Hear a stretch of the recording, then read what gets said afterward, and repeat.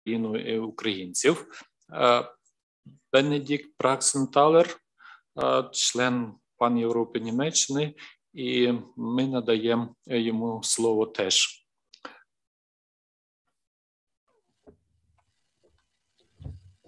Доброго дня всім. Мене чують? Так, okay. чуємо, чуємо. Um, я дуже-дуже радий, що я тут. Um, це, я думаю, перш, перший раз, що я беру участь uh, в, um, в заході Пан Європи України. І, um, пан Ігор правильно вже сказав, що ми познайомились вже давно, я знаю, в 95-му році.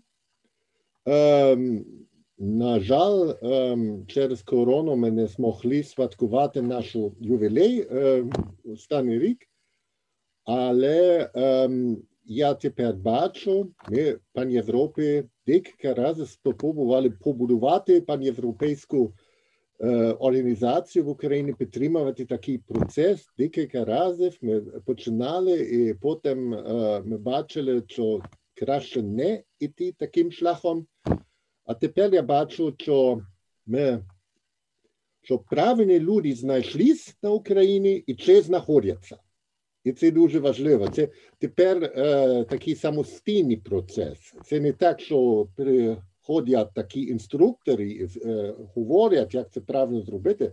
Це самостійний процес.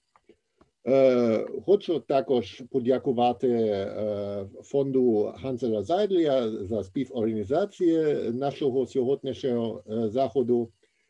Якщо я правильно пам'ятаю, фонд Ганса Зайдлія була перша політична організація німецька, яка починала свою роботу на Україні в 90-х роках. І це є такий корен, що відомий видатніший баварський політик Франц Йозеф Штраус, он в 80-х роках поставив на порядок дня українське питання.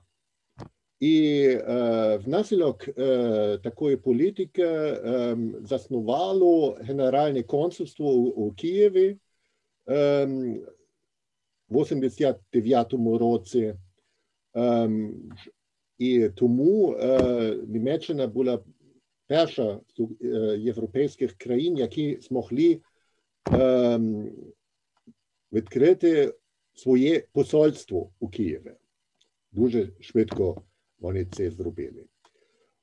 Я також дуже дякую е, панові ем, ем, Галеру. Я думаю, що дуже гарно, що він сьогодні прав. Я знаю, є конкурентна, конкурентний захід сьогодні, і він вирішив краще бути у пан Європи України, і він залишив такий захід, захід тільки за те. Внаслідок, внаслідок цього у мене тепер, звичайно, дуже мало часу, і я не хочу стати конкурентом Карлом фон Габсбургом. Тому дозвольте мене, що я тепер не um, читаю мій доповідь. Um, дозвольте, я думаю, якщо обставини дозволяють, коли обставини дозволяють мою присутність, uh, я задоволенням буду uh, в Києві uh, з вами на заході, а не тільки через чат, а особисто. Я вважаю, що це краще. Як порівняти ситуацію в Україні 30 років тому і сьогодні? Ну, перше, я хотів тепер Україна змінилась, звичайно. Коли я в 90-х був на Україні, крім Галичини, в українських містах майже не чудно було українська мова. Всі говорили іншою мовою. Як така мова називається, я не пам'ятаю. Але вони говорили деякою іншою мовою. Сьогодні це моє враження. Я майже кожен рік один раз е, на Україні. Е, ситуація змінилась. Е, ситуація така, що молодь говорить між собою українською мовою. Це на, на, на Києві, у Києві можна це е, чути. Ем, другий короткий аспект. Е, на відміну від ситуації е, в 90-х, сьогодні в Німеччині є ем, солідна україністика.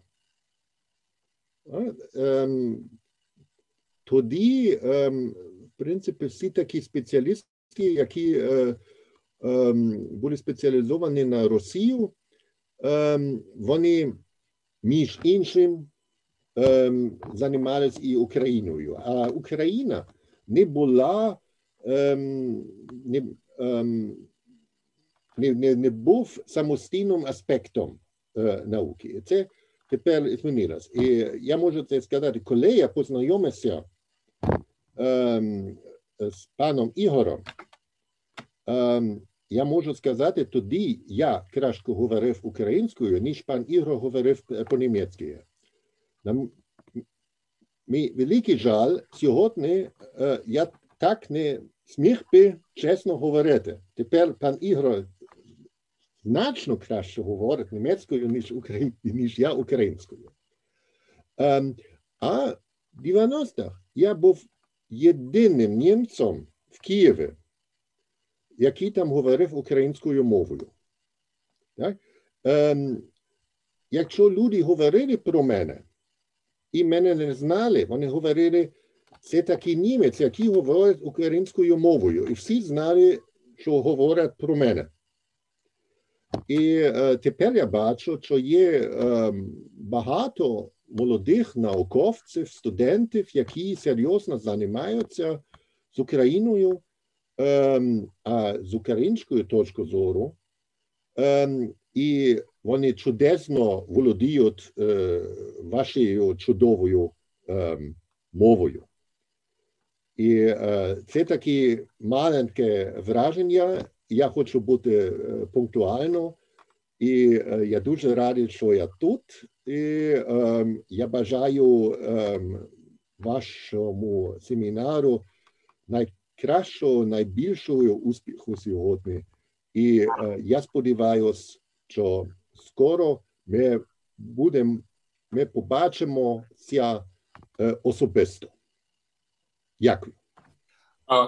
Дякую.